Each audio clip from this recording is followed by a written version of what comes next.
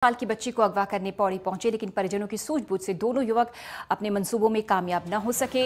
परिजनों ने दोनों आरोपियों को बंदी बना लिया। पुलिस को सूचना दी गई। सूचना पाकर पुलिस पहुँची मौके पर दोनों आरोपियों को गिरफ़्तार कर लिया गया। सुसंगत धाराओं में मुकदमा दर्ज कर कोर्ट में पेश किया गया। मामला पौड़ी का है। दो युवकों को पकड़ा गया है, जो कि एक नाबालिग को अगवा करने के लिए पहुँचे थे।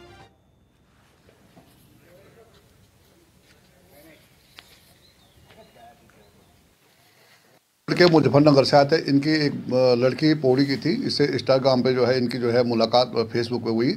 और ये दोनों लड़के दस तारीख को ये पौड़ी पहुँचे रात में और इन्होंने लड़की के घर में आए और उसमें जो है घर वालों को पता लगा कि हमारे घर में कोई लड़के आ रहे कोई लड़, दो लड़के मुजफ्फरनगर से आए उन्होंने बंद किया और पुलिस को सूचना दी। इस आधार पर पुलिस ने इनको गिरफ़्तार करके जो है थाने ले गई और वहाँ इनको जो है आज इनके खिलाफ मुकदमा दर्ज किया गया सुसंगत धाराओं में। और आज इनको जो है न्यायालय में पेश, माननीय न्यायालय के समक्ष पेश किया जा रहा है।